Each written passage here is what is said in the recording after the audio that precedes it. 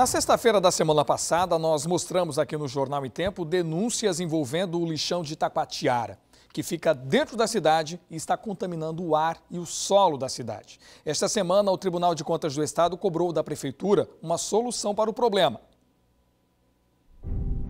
Em Itacoatiara, o lixão assume posição de protagonista. É por conta dele que a população padece com uma praga de urubus. Os animais podem ser vistos por toda a cidade e se alimentam, além do lixo, do esgoto a céu aberto à porta das casas.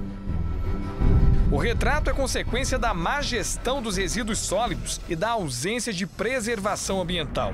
Na reportagem anterior, nossa equipe mostrou o lamento do povo, que reflete a opinião da maior parte da população do município. O fedor. A gente tem criança, as crianças de vez em quando estão doentes. O juiz dá o aval aí de que já vão tirar tal mês, tal mês, essa promessa nunca tiraram. A Prefeitura de Taquatiara deve assinar um termo de ajustamento de gestão com o Tribunal de Contas do Estado para eliminar de uma vez por todas o lixão da cidade.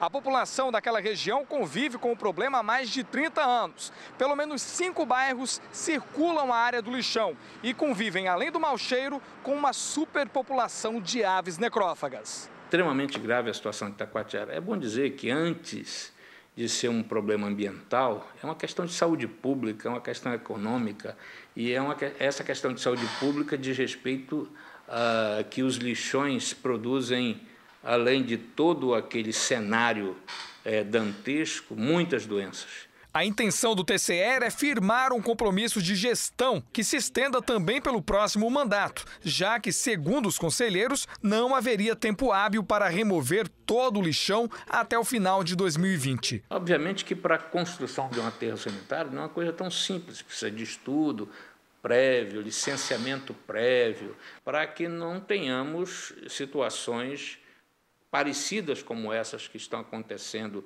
aí no interior do estado do Amazonas. Apesar disso, o prefeito de Itacoatiara, o petista Antônio Peixoto, prometeu em entrevista resolver a questão ainda este ano. Até o final dessa nossa administração, nós haveremos de pôr fim a esse crime ambiental que iniciou-se em 1980, 1998.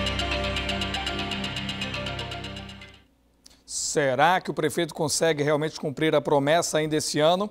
Vamos esperar para ver, né? E o resumo das notícias aqui do Amazonas, agora no Giro dos Correspondentes. Em Santa Isabel do Rio Negro, o porto da cidade está interditado.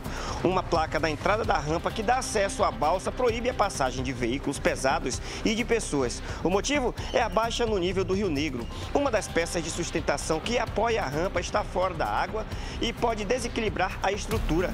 Na zona rural de Iranduba, um casal de idosos morreu enquanto dormia, depois que um raio atingiu a casa onde eles moravam na comunidade Acajatuba durante a forte chuva de ontem. As vítimas foram identificadas como Luiz Carlos dos Santos Silva e Maria Freitas Lima.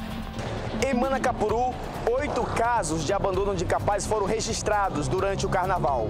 A exposição dos casos foi publicada na rede social de um dos conselheiros tutelares que participou dos resgates dos menores de idade. Em um dos atendimentos, dois conselheiros tiveram que arrombar um apartamento para resgatar uma criança de apenas 10 meses de idade com síndrome de Down. De Manacapuru, Marcelo Bezerra para o Jornal em Tempo.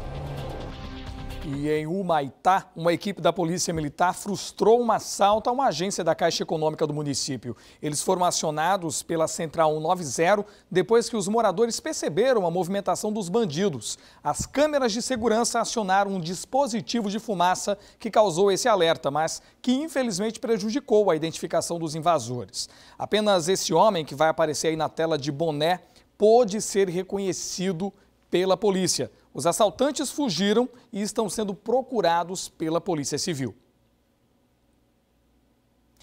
E olha, depois de dois dias com os serviços suspensos, as agências bancárias retornaram ao expediente nesta quarta-feira. Os atendimentos ocorreram do meio-dia às três da tarde. A espera gerou filas dentro e fora das agências. Só que amanhã os bancos voltam a funcionar em horário normal, das nove horas da manhã às três da tarde. Dá para se organizar e fazer direitinho o seu planejamento. E você vai ver a seguir: com a confirmação do primeiro caso de contaminação pelo novo coronavírus no Brasil, as autoridades do Amazonas estão reforçando os cuidados para a prevenção da doença. Agora, 18 horas e 33 minutos, voltamos já.